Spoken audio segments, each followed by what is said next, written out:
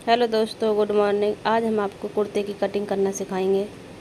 ये देखिए, हमने ये इस कपड़े को डबल कर लिया है और अब इसमें हमने फोर फोल्ड कर लिए हैं।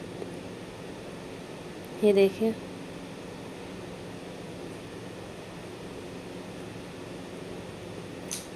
ये देखिए, हमारे ये फोर फोल्ड हो चुके हैं।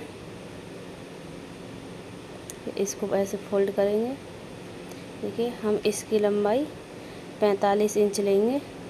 इसमें सिलाई मार्जिन रखते हुए उनचास इंच रहेंगे। नीचे तुरपाई भी चाहिए। आप अपने हिसाब से लंबाई कर सकते हैं इसकी जितना चाहें।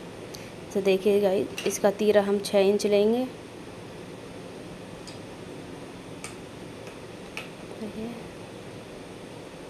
और इसका आर्म होल की लंबाई भी हम छः इंच लेंगे। ये देखिए, यहाँ से हम ये बैक का निशान लगा रहे हैं एक इंच और इसको आधा इंच अंदर की साइड करते हुए ये फ्रंट का निशान रहेगा। इस पर हम गुलाई दे देंगे। इसी प्रकार करना दोस्तों। ये देखिए, ये हमारी बैक और ये फ्रंट।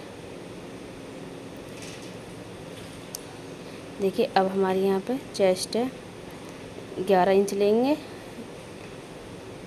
चौवालीस इंच का चौथा हिस्सा और ये देखिए, ये चौदह इंच पे हमने वो लगाया है।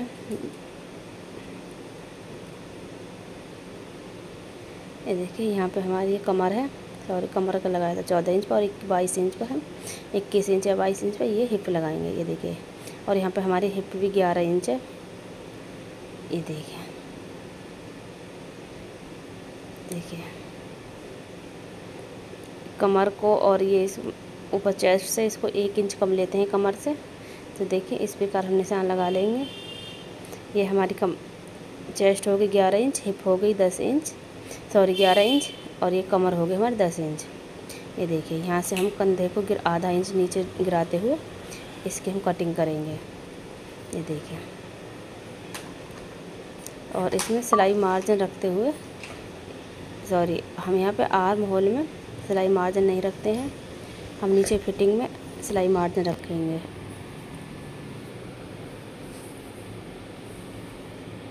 ये देखिए।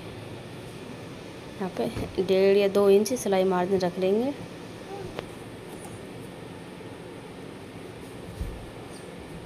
ये देखिए। जहाँ जहाँ पर हमने निशान लगाए थे, वहाँ पर हम छोटे छोटे कट लगा देंगे ताकि हमारे पल्ले एक जैसे रहें। निशान इधर उधर ना हो। ये देखिए। हमारा निशान लग, देखिए हमारी कटिंग हो चुकी है।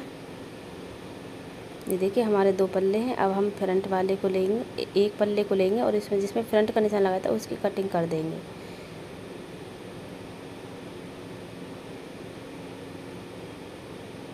ये देखिए, ये हमारा फ्रंट का हो चुका है। अब इसमें हम फ्रंट का गला काटेंगे। तो हमने गाई लंबाई इसके लिए है छः इंच नीचे से चौड़ाई ढाई इंच और ऊपर से तीन इंच। ये देखिए, इसकी गुलाई करके काट देंगे इसे। आप गले को अपने अकॉर्डिंग रख सकते हैं। आप छोटा या बड़ा जैसा भी पहनना चाहें, अपने हिसाब से आप कर सकते हैं।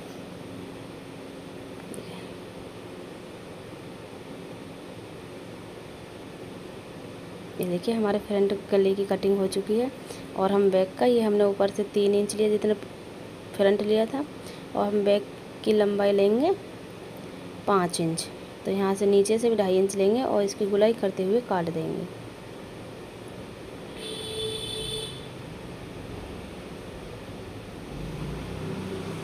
ये देखिए हमारे दोनों गले कट चुके हैं। अब देखिए, हम इसमें स्लीव्स की काटेंगे। तो हमारी कपड़ा कम था, हम यहाँ पे जोड़ लगाएँगे। वैसे हमने इसको फोर फोल्ड कर लिया है। यहाँ पे हम बाद में कपड़ा डाल देंगे छः इंच का। तो ये देखिए, हम लंबाई लेंगे तेरह इंच, हमारे इसकी लंबाई रह जाएगी ग्यारह इंच और यहाँ से हम फिटिंग लेंगे सात इंच। आप अपने अकॉर्डिंग कर सकते हैं। ये देखिए। ये देखिए। जब हम यहाँ से आर्म होल की गुलाई देंगे बाजू में, ये देखिए, हमने तीन इंच आगे कर लिया था। ये देखिए, ये ऊपर से अपने तेरह है और नीचे से आगे थोड़ा तीन इंच कर लिया था। ये देखिए हमारी लाइन खींच रही है। इसको ऐसे सेप देते हुए इसकी कटिंग कर लेंगे, सिलाई मार्जिन रखते हुए देखिए। ये हमारी बैक और ये आगे फ्रंट। इसमें हमने कुर्ते की तरह ही गुलाई देंगे। ये देखिए।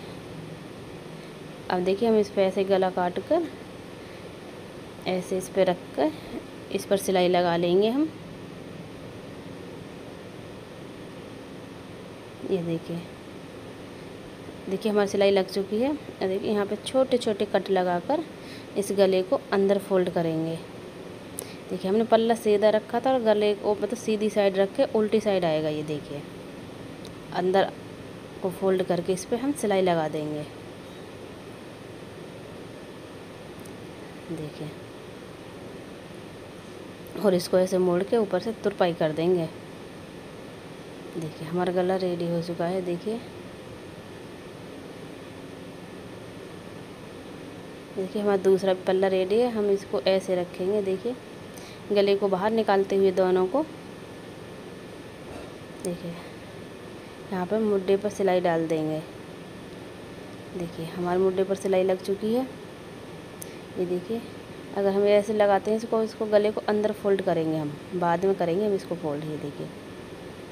तो देखिए, हमारी फिटिंग के निशान दोनों साइड लग चुके हैं। अब इसको एक मिलाते हुए दोनों पल्लों को, दोनों साइड हम इसमें सिलाई लगाएँगे। ये देखिए, हमारे ये दोनों साइड है, एक ये और एक ये। हमारी सिलाई लग चुकी है और देखिए, हम स्लीव्स जोड़ कर लिया है, हमने स्लीव्स में जॉइंट कर लिया है। ये देखिए, हमारा पल्ला भी सिल चुके हैं। तो इसमें आगे इसको फोल्ड करते हुए इसमें आगे सिलाई लगा देंगे। आप चाहें तुरपाई भी कर सकते हैं। ये देखिए हमने इसमें सिलाई लगा के और अपनी फिटिंग के निशान लगा लिए हैं। देखिए, हमारे इसके बाजू का आर्म होल साढ़े नौ इंच आ रहा था। आप कुर्ते से नाप सकते हैं। तो देखिए, इसमें कुर्ते को सीधा रखेंगे और बाजू को भी इसके ऊपर सीधा रखेंगे। देखिए, आर्म होल जोड़ रहे हैं हम यहाँ से। ये देखिए, इसको गले से पलट के गले में अंदर को निकाल के यहाँ से ऐसे सिलाई लगाएँगे। देखिए बीचों बीच हमने कट लगाया था बाजू में और इसको ऊपर मुड्डे पर रखते हुए इसको जॉइंट कर देंगे। चलो देखिए, हम दोनों पल्लों पर सिलाई लगाते हैं। ये देखिए, हमारे दोनों बाजू जुड़ चुकी हैं। ये देखिए, कितनी फिनिशिंग के साथ हमारी बाजू लगी है। देखिए तो देखिए, इसमें पल्ले नीचे तुरपाई के लिए हम इसको ऐसे एक बार फोल्ड करते हुए और एक बार ऐसे सीधे करते हुए इस पर सिलाई लगा के तुरपाई कर लेंगे। सो गाइज़ हमारा कुर्ता रेडी है तो थैंक यू